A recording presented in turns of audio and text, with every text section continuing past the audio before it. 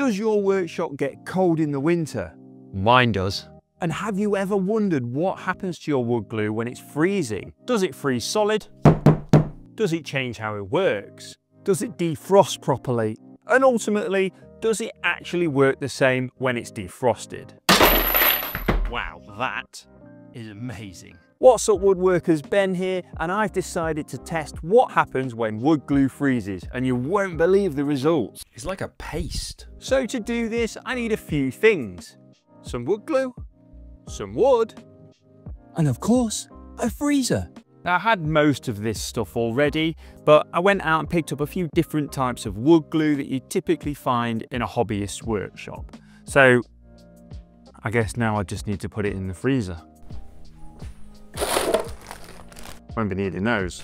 The glues I got are Titebond 3, Evo Stick wood glue, the original Gorilla polyurethane glue, CA or super glue, and Cascamite, which is a powdered resin wood glue.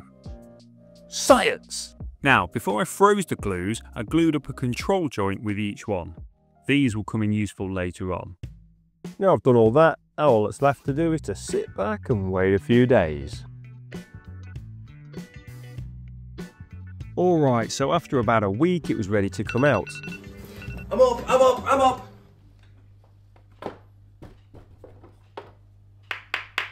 Well, they definitely feel frozen. Let's get them back into the workshop. Right, the first thing I thought I'd do is give this stuff a good poking to see if it's frozen solid or if any of it's still soft. Pokey pokey. So let's try poking the Titebond first. Yep, that's definitely frozen solid. So it's going to need a bit of time before I can use that. Let's move on to the Evo Stick PVA. Same story here, rock solid. That's two for two. I'm going to give the Gorilla polyurethane glue a go next. Ooh, feels a bit softer. Check it out. The screwdriver's definitely making a mark on it and it's definitely softer than the last two because I can scoop it out a bit. But it's definitely still too thick to actually use properly at the moment. It certainly won't take as long to get back into a usable format though, that's for sure. Right, let's take a look at the CA glue. I'm not sure if you can see this properly on camera, but this stuff definitely seems like it stayed in liquid form, which is very interesting. Let's see if it'll pour out. Yep, there it goes. So this stuff should be usable. Last up, we've got the Cascamite. This stuff is a powder rather than a liquid, so I'm pretty confident it shouldn't be frozen solid. Yep, that still looks exactly like it should. Doesn't even need poking. So it's apparent very quickly that the Titebond, the Evo stick, and even the Gorilla glue were not usable straight out of the freezer. So I'm going to have to leave them to defrost, and then we'll try them later on. However, the CA glue, super glue, doesn't seem to be affected at all. The Cascamite, I've mixed up a batch of it. That's looking pretty good as well. So I'm going to glue up my test pieces with the Cascamite and the super glue and see how we get on. So just to make sure I don't get anything mixed up at any stage, I'm labeling all my test pieces in the same way I did the control glue ups. That way I shouldn't get anything mixed up. So I applied the glues in exactly the same way and clamped them up for a day or two just to let the glue fully cure. Now this brings us on to today's fake sponsor, and that is the incredible disappearing pencil. Just take your pencil, pop it down anywhere in the workshop, and boom, it's gone. The disappearing pencil knows just when you might need it, just when you get your work lined up, it's gone. Drawing a line for a second with your ruler, pop it down, and gone. You finish using it, oh, I've accidentally dropped it on the floor, and it's gone. And thanks to the incredible disappearing pencil for sponsoring this video. Ah, come on! Alright, so it's been a day since I took the glue out of the freezer. These three were frozen solid, so I couldn't use them. I've had a look at them since then. I think they're all usable. So I'm going to glue up my final test pieces with these three, and then we can get on to the actual testing. Now, interestingly, this Evo Stick PVA glue, although being fully defrosted, has definitely not gone back to its original consistency.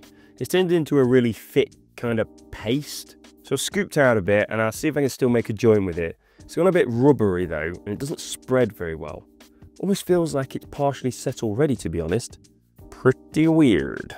Right, so I've just taken the last clamps off of these joints and I've invested in a brand new scientific piece of equipment. Really high tech, It's called a science bucket. Okay, what I'm going to do with this is I'm going to hang this onto my test piece and drop weights into it until it falls apart. Let's get stuck in. Now, I know what you've been thinking. This guy lifts weights. So I'm just going to finish off my reps here. And then when I've finished off testing the guns, I can use these to test my joints. So here we go. Test number one is going to be the Titebond 3 control piece.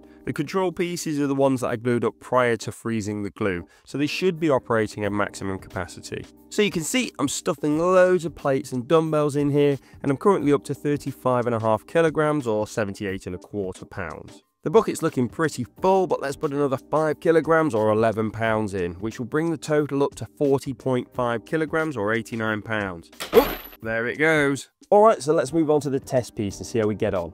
Now, I've stacked it in exactly the same way, and here we are at 35.5 kilograms or 78 and a quarter pounds. But it turned out the old science bucket simply isn't up to the task.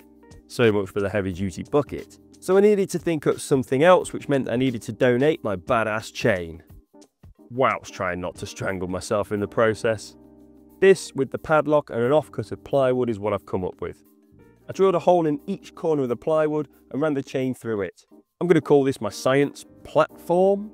So let's see how we get on with this bad boy.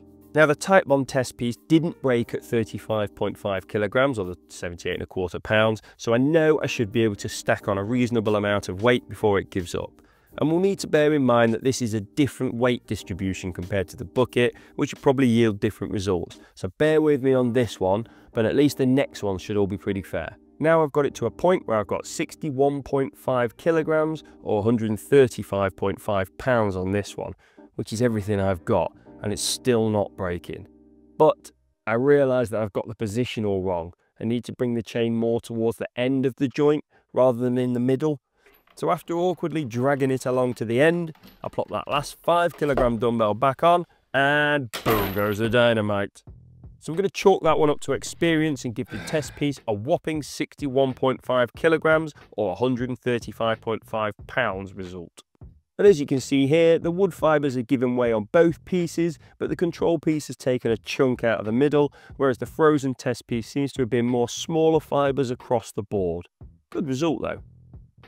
So let's move on to the Evo Stick PVA. And this is the one that came out all gloopy and thick. And you can see that in the way that the overspills dried on it here. You'll be pleased to know that I'm not going to subject you to the fine detail of every single bit of all the rest of these tests. So we're going to do the control and test piece side by side to see how we get on. So I stacked all the weights fairly confidently up to a point as I realised that the joints were going to be pretty solid across the board. So we're just going to focus in on when they start to get interesting. So here we are at 48.5 kilograms or 107 pounds for the control one, and we're only at 27.5 kilograms or 60.6 pounds for the test piece. We're going to add on our last weights for each one with a final result of 53.5 kilograms or 118 pounds for the control piece and 35.5 kilograms or 78 and a quarter pounds for the test piece. And you can see it's much the same story with the fibres on this one as it was with the Titebond. You can see a dry white finish from the control piece again, but less so on the test piece. Let's test the Gorilla Polyurethane next, and you can see here that both glues foamed up nicely, and there's no particular difference between the two. Couple that with the fact that it wasn't frozen solid, and I've got high hopes for this one. We're joining in here with both holding strong at 53.5 kilograms or 98 pounds. Now, that control one is making a few noises, so I think it's about ready to go. Interestingly though, the test piece seems strong, so I'll add on an extra 5 kilograms on the test piece, and then it's a 5 kilogram on both. And the test one did 5 kilograms better than the control one. That's crazy. The final results on the Gorilla test were 48.5 kilograms or 107 pounds on the control piece and 53.5 kilograms or 118 pounds on the test piece. The total weight wasn't as high as some of the others, but there's no doubt in my mind that this was entirely down to the wood rather than the glue, as these are the biggest chunks of wood we've had break off so far, especially on the control one. Alright, we've got two glues left and I'm going to do the Cascamite next. I'm going to skip right on ahead with this one to 48.5 kilograms or 107 pounds. putting another 5 kilograms on to bring it up to 53.5 kilograms or 118 pounds. The last weight I have is an 8 kilogram kettlebell. And whoa! the test one went quick and the control one sounds like it's going to go. And there we go. All in, both pieces glued up with the Cascamite maxed out at 61.5 kilograms or 135.5 pounds. And check out these results. The control piece has trashed the wood before the glue broke, so I reckon a stronger wood would have held up for much longer. The frozen test piece hadn't quite had the same effect, but still held up really well. Alright, lastly we're going to test the CA glue. I'm constantly amazed by how good CA glue is, and if it wasn't so expensive, I'd be tempted to use it for absolutely everything. Let's see how it gets on. I've been putting weights on this and it's holding ridiculously well. The test piece is slightly ahead at this stage, so let's drop this 5kg on the control piece to bring the total weight on both to 53.5kg. Then it's 8kg on the test piece, and boom, there goes both of them. Wow, that is amazing.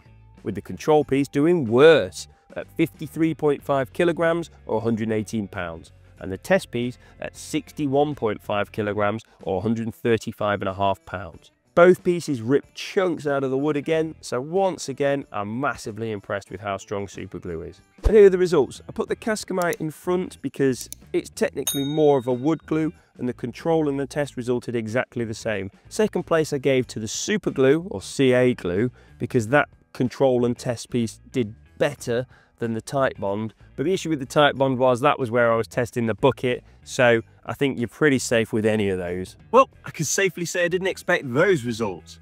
To be honest, I'd be quite happy recommending any of the three top glues to keep in your workshop, especially if there's a risk of it freezing. There's benefits and drawbacks to all of them though, so be sure to do your own research on what might suit your needs best. I think I'm to bin this Evo Stick PVA glue though.